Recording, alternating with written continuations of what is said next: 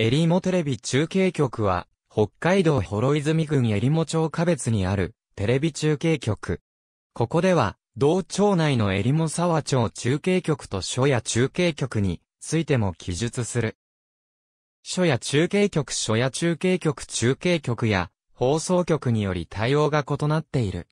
NHK-HTB は室蘭放送局の管轄、その他は札幌放送局の管轄。